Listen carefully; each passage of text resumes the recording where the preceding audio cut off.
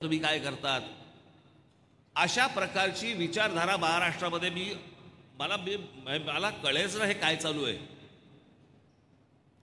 आत्ता राष्ट्रवादीमध्ये आहे पण तो उभाटाकडे तिकीट मागतोय कदाचित तुतारीकडे जाईल किंवा तुतारीकडनं मग आपल्याकडे पण येऊ शकतो. शेवटी आम्ही भोंगायचा का? मला कळत नाही ह्यांच्या घरचे जरी कशी ह्यांना ब- साथ देतात. पुढच्या येणाऱ्या पिढ्यांवरती आपण काय संस्कार करतो आहोत? महाराष्ट्र आपण कोणत्या वाटेत नेणार आहोत? आपल्याला काही समजतंय?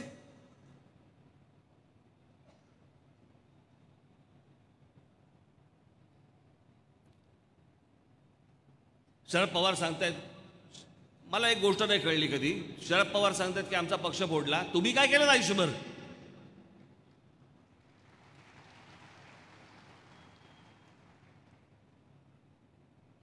अठ्ठ्याहत्तरला काँग्रेस फोडलीत. एक्क्याण्णवला शिवसेना फोडलीत. त्याच्यानंतर नारायण राणेंचं झालं. ते गेले त्यांना फोडलं तुम्ही कसल्या फोडाफोडीच्या गोष्टी बोलताय? आणि अजित पवारांबद्दल मी बोललोच होतो. इतके दिवस झाले बरेच दिवस ओरडत होते. आता काहीतरी गुलाबी जॅकेट घालून फिरतात. कोणी सांगितलं मला माहिती नाही. भारतीय जनता पक्ष यांना स्वीकारतो तरी कसा या लोकांना. अजित पवार भारतीय जनता पक्षामध्ये यायच्या अगोदर आठ दिवस अगोदर पंतप्रधान नरेंद्र मोदी सांगतात की सत्तर हजार कोटीचा भ्रष्टाचार केलेल्या लोकांना आम्ही जेलमध्ये टाकू. जेलमध्ये टाकायच्या ऐवजी मंत्रिमंडळात टाकलात.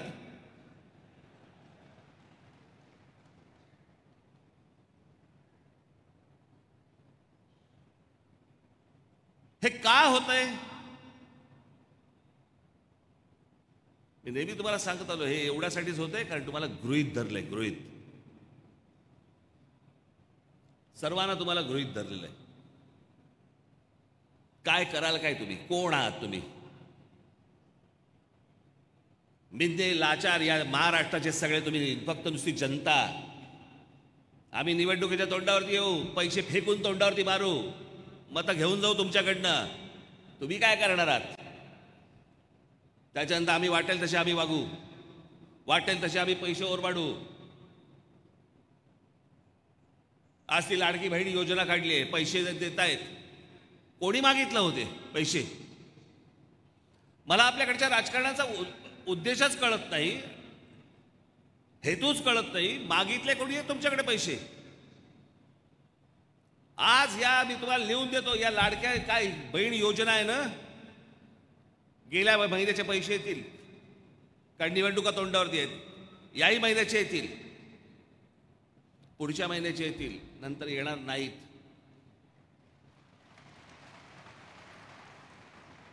एवढ्यावर जाऊ नका तुम्ही. हे जे पैसे वाटणं जे आहे ना पैसे वाटणं जानेवारी फेब्रुवारीमध्ये तर अशी परिस्थिती कदाचित निर्माण होईल की या महाराष्ट्र सरकारकडे पगार द्यायला पैसे नसतील. कोण मागतंय तुमच्याकडे फुकट? महिलांना जर समजा तुम्हाला करत असा सक्षम बनवा. त्यांच्या हाताला काम द्या. कामात पैसे उभे करतील त्या. एवढ्या सक्षम तर महाराष्ट्रातल्या माझ्या महिला आहेतच भगिनी आहेतच. त्यांना मार्ग दाखवा. फुकट कसले पैसे देत आहे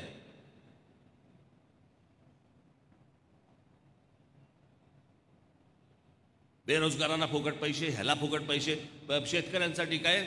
फुकट वीज. शेतकरी आमचा बांधव कुठे मागते फुकट वीज? तो म्हणतोय मला विजेमध्ये सातत्य द्या. थोडे कमी पैशात द्या. पण वीज तर मला मिळू देत. कोणी या देशामध्ये राज्यामध्ये काही कोणी कोणाकडे फुकट मागत नाहीये. ह्यांना सवयी लावायच्या आहेत लोकांना. आणि एकदा फुकटाच्या सवयी लागल्या ना की मग सगळ्या राजकीय पक्षाने त्याप्रमाणे वागायला लागतं. आणि सगळेजण त्या प्रकारच्या सगळ्या गोष्टी तुमच्यासमोर ठेवत जातात. नागडा होणार आहे महाराष्ट्र. आपण राज्य म्हणून काही विचार करणार आहोत की नाही?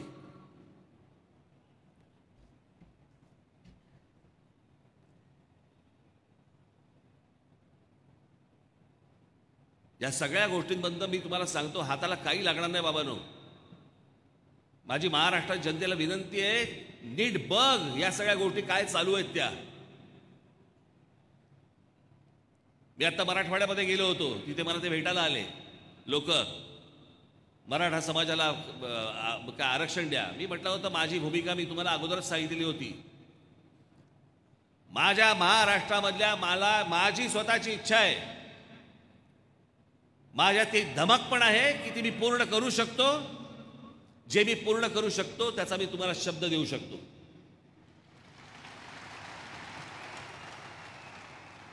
माझ्या महाराष्ट्रामध्ये माझ्या हातात सत्ता देऊन बघा. माझ्या महाराष्ट्रामधला एकही तरुण आणि एकही तरुणी कामाशिवाय राहणार नाही. प्रत्येकाच्या हाताला काम असेल पण ते जातीप्रमाणे दिलं जाणार नाही.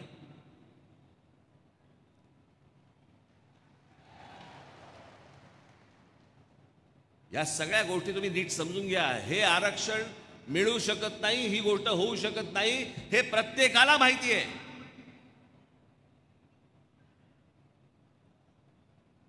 हे फक्त खरं बोलण्याचं धाडस हा राज ठाकरे करतो म्हणून कदाचित कोण लोकांना परवडत नसेल.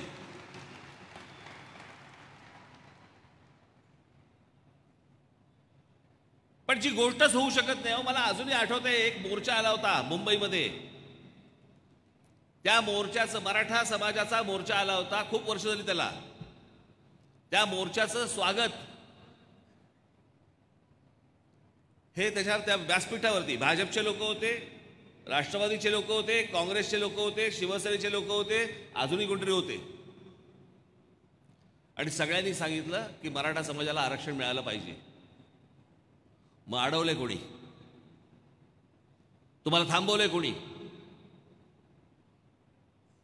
फक्त वरवर तुमच्या तोंडाला फक्त पानं पुसायची. हे आरक्षण देऊच शकत नाही हे आरक्षण मिळूच शकत नाही. घटनेमध्ये बदल करायला लागतील. वेगळं अधिवेशन घ्यायला लागेल. आणि हा फक्त मराठा समाजाचा विषय नाहीये बाबारो पहिले गोष्ट नीट लक्षात घ्या.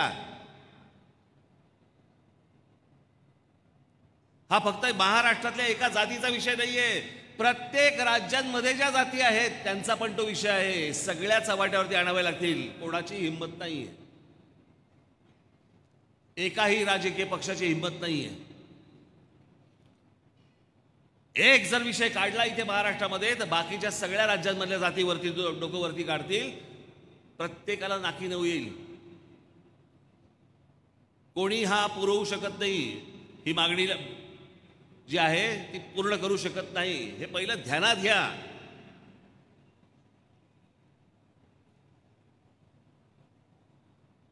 कोणताही समाज कोणतीही जात हाताला कामाशिवाय राहू नये ही माझी भावना आहे. पण ही सर्व मंडळी तुम्हाला फक्त मतांसाठी म्हणून या सगळ्या गोष्टी भुलतापा टाकते खोटं बोलतायत. उद्या निवडणुका झाली की तुम्ही बघाच हा विषय निघतो का? पुन्हा ज्या वेळेला काहीतरी निवडणुकांची वारे व्हायला लागतील पुन्हा हे विषय काढतील. सतत हीच गोष्ट चालू आहे गेली वीस वर्ष. तुम्हाला आठवत आहेत? महाराष्ट्रभर मराठा समाजाने शिस्तीमध्ये म्हणजे मी इतके शिस्तीमध्ये मोर्चेच पाहिले नव्हते कधी. आठवत तुम्हाला? काढलेले मोर्चे? प्रचंड मोठे लाखा लाखाचे मोर्चे होते. काय झालं त्या मोर्चानंतर? काही नाही. अनेक तरुण अनेक तरुणी मला अजूनही आठवते मोटरबाईकवरती बसून. उत्साह जल्लोषामध्ये त्या सगळ्या मोर्चामध्ये सहभागी झाले होते. राज्यातल्या प्रत्येक जिल्ह्या जिल्ह्यामधनं मोर्चे निघाले होते. काय झालं? आज त्यातल्याच एका गरीब वर्गाला घेऊन आज जरांगे पाटील आज तिकडे उपोषणाला बसलेत. मी त्यांच्यासमोर त्यांना पण जाऊन सांगितलं.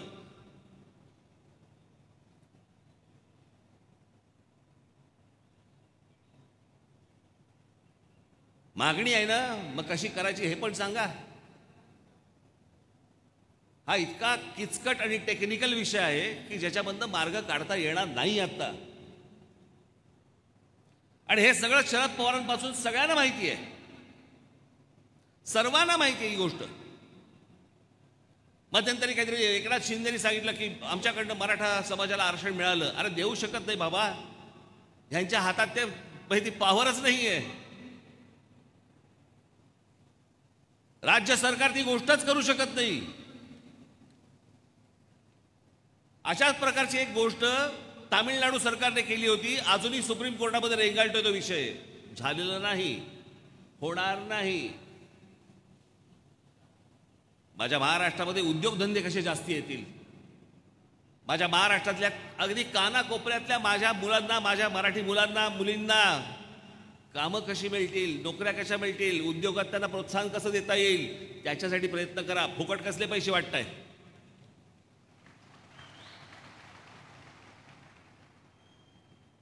आणि हे रॉकेट सायन्स नाही आहे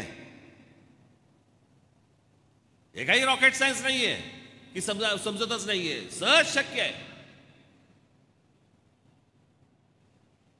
पण खोट्या गोष्टी सांगून तुमच्या फक्त भावनांना हात घालायचा. तुम्हाला आठवत असेल एक पंचवीस वर्ष वीस वीस झाली वीस वर्ष झाली असतील त्याला अठरा वीस वर्ष झाली असतील. समुद्रामध्ये शिवछत्रपतींचा पुतळा उभा करायचा. आठवतं तुम्हाला? मला असं वाटतं ती आता ते नाही आमच्या ते मेटे ना?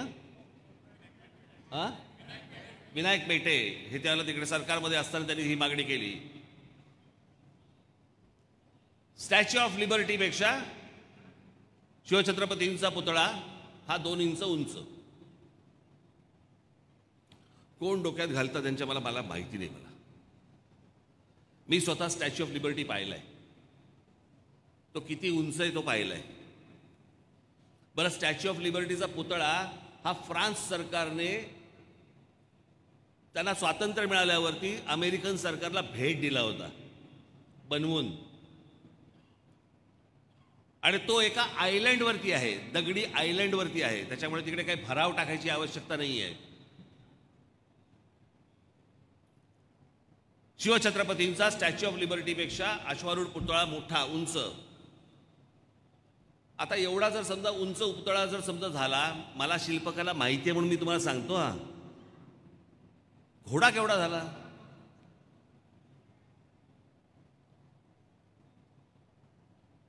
तुम्ही म्हणाल की आता वल्लभभाई पटेलांचा नाही का पुतळा झाला?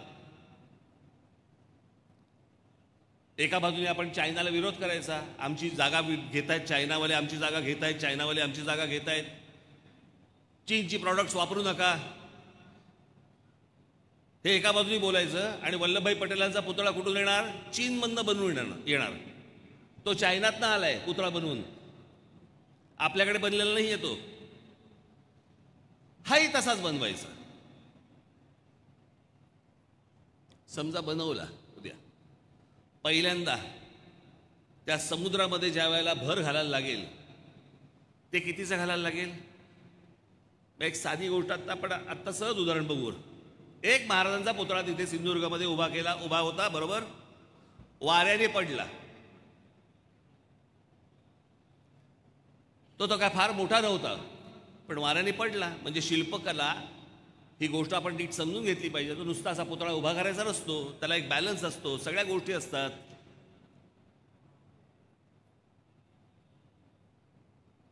उद्या जर समजा तिथे तुम्ही जो भराव टाकलेला आहे तो भराव जर समजा खचला आणि पुतळा जर समजा हल्ला काय होईल? तो भराव नुसता टाकून महाराजांचा जर समजा तशा प्रकारचा पुतळा उभा करायचा असेल त्याला किमान कमीत कमी कमीत कमी बोलतो मी तुम्हाला पंधरा ते वीस हजार कोटी रुपये लागतील.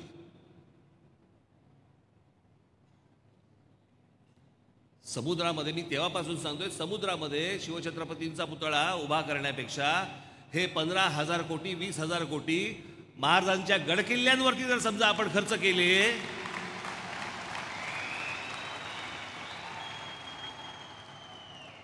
तर भविष्यातल्या येणाऱ्या सगळ्या पिढ्यांना आम्हाला सांगता येईल अरे आमचा राजा कोण होऊन गेला. त्यांनी काय बांधलंय? अख्खा हा हिंद प्रांत हलवून टाकला ज्या माणसाने.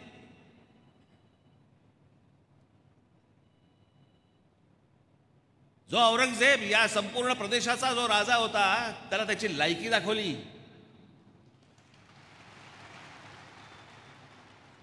पुढची सत्तावीस वर्ष महाराष्ट्रात जाऊन ठाण मांडून बसला आणि इथे मेला. सांगताना काय सांगतात आमचे? अडीच तीन जिल्ह्याचा तुमचा राजा.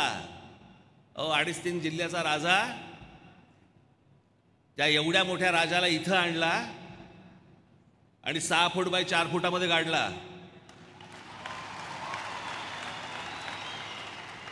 आम्हाला अडीच तीन जिल्हे लागले नाहीत.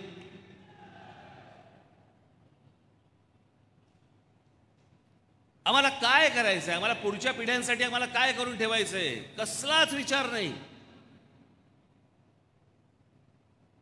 कसलाच विचार नाही. फक्त येऊन खोटं खोटं तुमच्यासमोर फक्त सांगायचं उभं करायचं सोशल मीडियाचं माध्यम वापरायचं. काही वेळेला तुमचे चॅनलवाले पण असतात त्याला सहभागी झालेले. एक तर महाराष्ट्राची भाषा. हे सगळे प्रवक्ते येतात आणि कोणती भाषा बोलताय तुम्ही?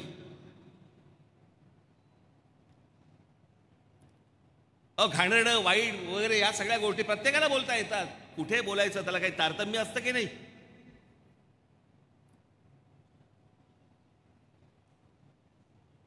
विनोदाने कुठची गोष्ट मांडावी? ती गोष्ट कशी मांडावी? विनोद कुठपर्यंत असावा? शिवी कोणा आम्ही तुम्हाला सांगतो मी मला अजूनही आठवत आहे पूर्वीच्या काळातली एक गोष्ट यशवंतराव चव्हाण हे सांगायचे की प्रबोधनकार ठाकरे त्यांच्या भाषणामध्ये काहीतरी शिव्या देतात. पण तो विषय समजून घेताना जर समजा तुम्हाला ती शिवी कळली तर तुम्हाला बोध होईल की ते तुम्हाला काहीतरी सुचवतायत सुनवतायत काहीतरी चांगलं सांगतायत. त्या असल्या घालण्याशिवाय नाहीत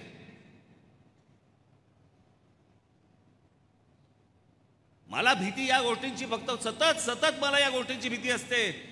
की जी लहान लहान मुलं ज्या लहान लहान मुली जे पाहत असतील हे सगळं टी व्हीवरती अहो त्यांना वाटायचं हेच राजकारण असतं.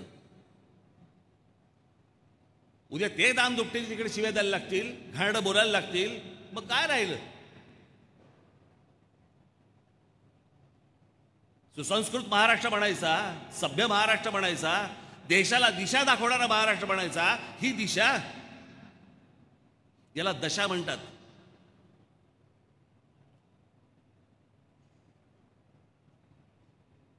मी मागे ज्याला ठाण्याच्या सभेमध्ये किंवा माझ्या शिवतीर्थावरच्या सभेमध्ये म्हटलं होतं की शरद पवार हे स्वतः नास्तिक आहेत. देव धर्म काही पाळत नाहीत. आजपर्यंत कधी पाळला नाही. अहो मी कशाला सांगतोय? त्यांच्या मुलीने लोकसभेमध्येच सांगितलंय. की माझे वडील नास्तिक आहेत म्हणून. मी हे सगळं बाहेर बोलल्यावरती पवार साहेब आता प्रत्येक मंदिरात जायला लागले. हात जोडायला लागले. ते हात जोडणं देखील खोटं आहे.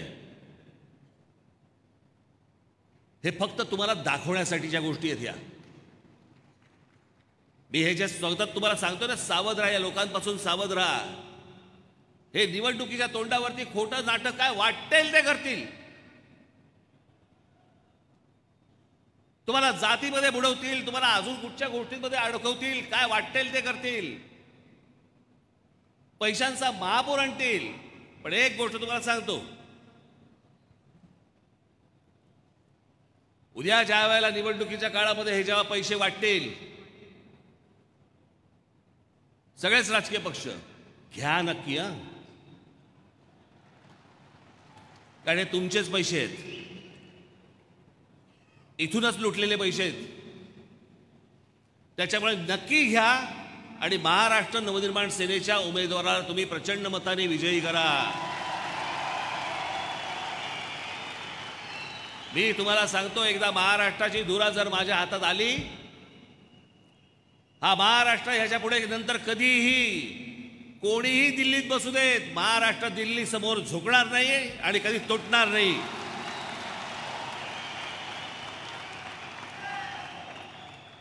आपला अभिमान आपला स्वाभिमान आपण हा आपणच जगवला पाहिजे. कोणी येत आहे आणि काही घेत आहे तुमच्याकडे येतात. तो एक उद्योगपती अदानी नावाचा माणूस येतो विमानतळ घेऊन टाकतो तुमच्याकडचे पोर्ट्स घेऊन टाकतो तुमच्याकडच्या खार जमिनी घेऊन टाकतो काही नाही आम्हाला पडलेली. कोकणामधली एक मोठी जमीन घेत आहेत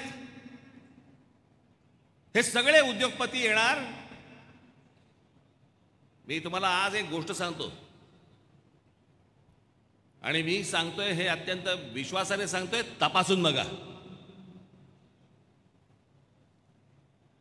मी जे सतत सांगत आलो ना माझ्या कोकणातल्या लोकांना माझ्या पश्चिम महाराष्ट्र लोकांना माझ्या सगळ्याच माझ्या महाराष्ट्रातल्या लोकांना जमिनी विकू नका. एकदा पायाखालची जमीन गेली ना की तुमचं अस्तित्व काही राहणार नाहीये.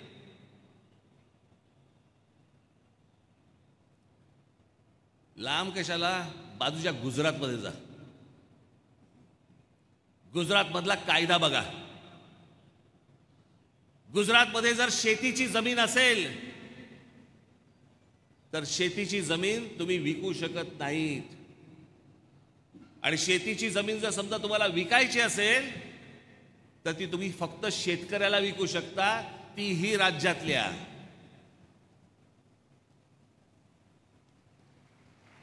प्रत्येक जण प्रत्येक जण आपापल्या राज्याचा विचार करतो प्रत्येक जण आपापल्या माणसांचा विचार करतो. आमच्याकडेच फक्त सगळ्या गोष्टींचा लिलाव मांडला जातो.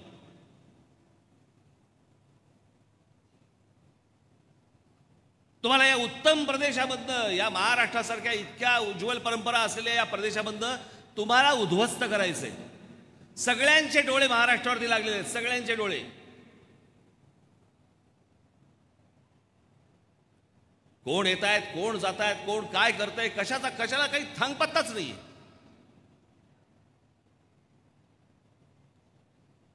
काल त्या कोण सिद्दीकी म्हणून आमदार होते त्यांचा काल खून झाला. खून करणारी माणसं कोण आहेत? त्यातला एक युपीचा आहे एक हरियाणाचा आहे. बाहेरच्या राज्यांमध्ये लोक येत आहेत महाराष्ट्रामध्ये मुंबईमध्ये पोलिसांच्या देखात ढवळ्या म्हणजे इतक्या सगळ्या लोकांसमोर खून होत आहेत महाराष्ट्रामध्ये बलात्कार लहान लहान मुलींवरती बलात्कार सुरू आहेत. मी तुम्हाला फक्त एक आकडेवारी वाचून दाखवतो. आण रे ते. मी त्याशी नागपूरला वाचून दाखवली मुद्दामून वाचून दाखवली तुम्हाला.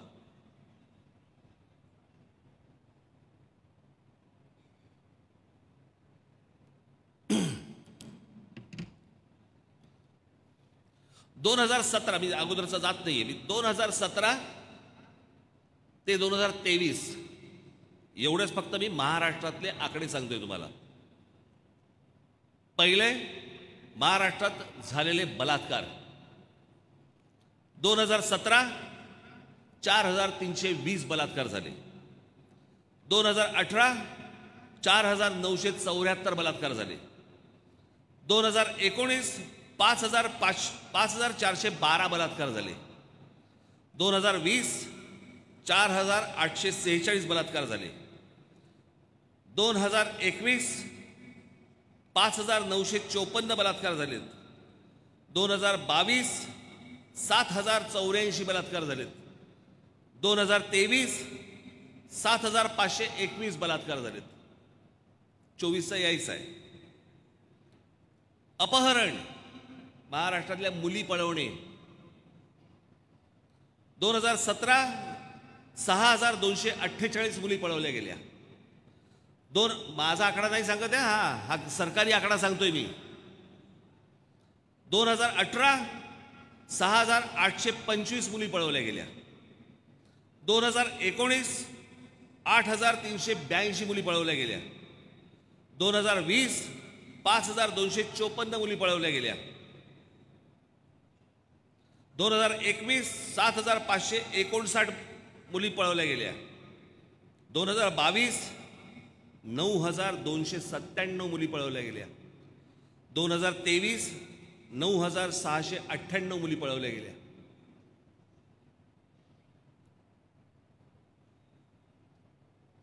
हुंडाबळी नातलगांकडून होणारे अत्याचार विनयभंग लैंगिक अत्याचार त्याच्यानंतर त्यांचे ते काय ट्रॅफिकिंग वगैरे जे चालतं वगैरे. दोन हजार तेवीसला हे सगळे गुन्हे जर समजा आपण पकडले मी आता तुम्हाला जे वाचून दाखवले तर दोन हजार तेवीसला सत्तेचाळीस हजार तीनशे एक्क्याऐंशी गुन्हे आहेत.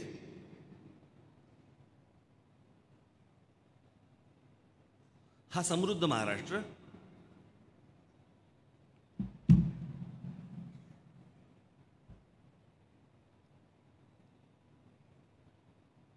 बाईबद्दल काही जर समजा एखादी गोष्ट घडली तर रांजाच्या पाटलाच्या चौरंग करणारा आमचा शिवराय.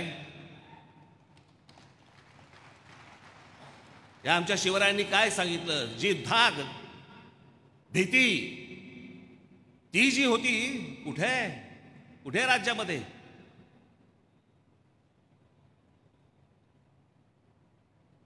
ही जर महिलांची परिस्थिती असेल लहान मुलींची परिस्थिती असेल कोणत्या भरोश्यावरती शाळांमध्ये पाठवायच्या आमच्या संगीतातही कुठे गेले त्या?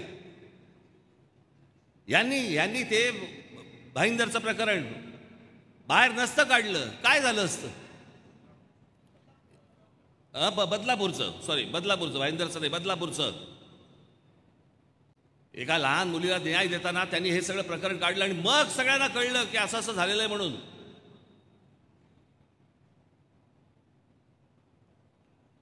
हे सुराज्य हे स्वराज्य हे माझं राज्य हे महाराष्ट्र राज्य.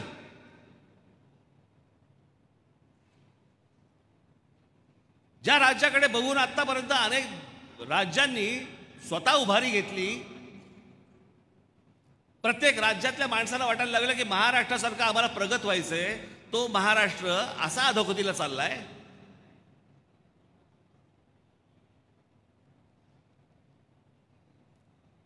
जे मनाला येईल ते तुम्हाला सांगितलं जात आहे जे मनाला येईल ते फक्त शब्द दिले जात आहेत फुकट पैसे वाटले जात आहेत माझी तुम्हाला सगळ्यांना फक्त एकच विनंती आहे हे आचारसंहिता वगैरे लागतील. बाबानो महाराष्ट्राकडे तुमचं लक्ष हे असलंच पाहिजे. महाराष्ट्र नवनिर्माण सेनेच्या माझ्या प्रत्येक सैनिकाचं लक्ष असलं पाहिजे. कुठे कोणती कोणची गोष्ट घडतेय? ही कशा प्रकारची फसवणूक होतीये?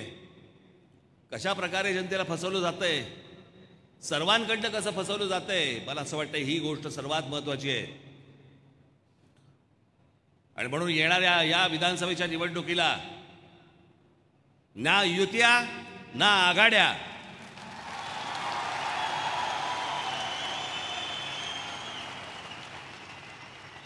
आपण स्वतंत्रपणे महाराष्ट्राला सामोरे जाणार आहोत. मी तुम्हाला नक्की सांगतो की येणाऱ्या विधानसभेच्या निवडणुकीच्या निकालानंतर महाराष्ट्र नवनिर्माण सेना हा सत्तेमधला पक्ष असेल आपण एवढं लक्षात ठेवावं. ज्या लोकांनी आपल्यावरती अशा अपेक्षा ठेवलेल्या आहेत त्या सर्वांना आपण उत्तम महाराष्ट्र घडवून दाखवू एवढीच फक्त माझी मनापासून इच्छा आहे. मी पहिल्याच माझ्या सभेमध्ये सांगितलं होतं की जगाला हेवा वाटावा असा महाराष्ट्र माझ्या हातून घडावा एवढीच फक्त माझी प्रामाणिक इच्छा आहे. या राज्याची धुरा महाराष्ट्राने एकदा आमच्या हातामध्ये द्यावी एवढी एक विनंती करतो आणि आपल्या सर्वांची मी रजा घेतो. धन्यवाद. जय हिंद जय महाराष्ट्र.